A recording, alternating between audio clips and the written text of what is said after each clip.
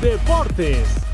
La selección mexicana obtuvo un valioso punto ante el complicado equipo alemán y con ello aumenta sus aspiraciones de avanzar a los octavos de final del Mundial Sub-20 de República de Corea 2017. Con este empate, el Tri se colocó en la segunda posición del Grupo B con cuatro unidades.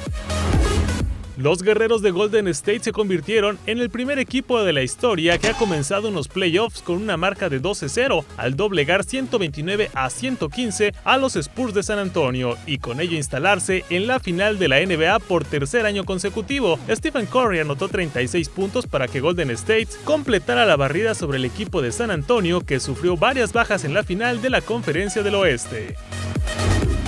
La Comisión Estatal de Cultura Física y Deporte apoyará las visorías que realiza el Club de Fútbol Chivas en Oaxaca, específicamente en la región del Istmo, con el objetivo de que más jóvenes oaxaqueños puedan hacer realidad su sueño de convertirse en futbolistas profesionales. Así lo informó la titular de la SECUDE, Montserrat Aragón Haynes.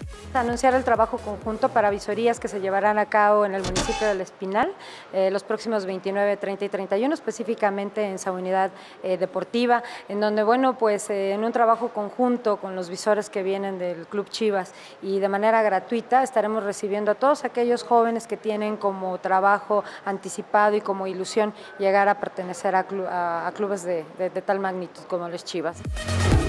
El torneo selectivo de Muay Thai que se efectuó en el ring del gimnasio Flores Magón permitió integrar una selección que representará a Oaxaca en la Ciudad de México, dijo Carlos Ricci, representante de la Federación de Muay Thai en Oaxaca.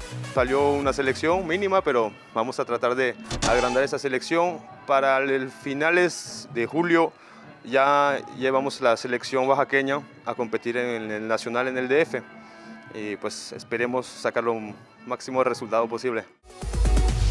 Deportes.